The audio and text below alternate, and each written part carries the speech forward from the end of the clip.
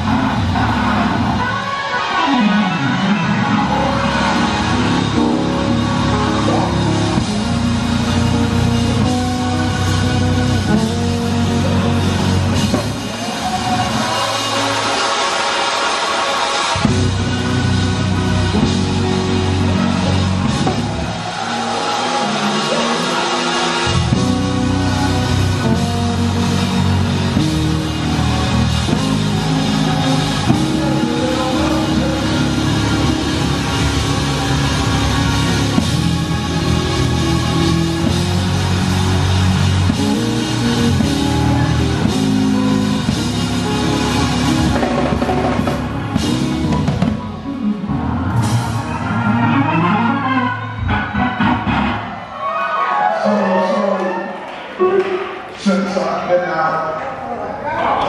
I've been writing like I'm crazy.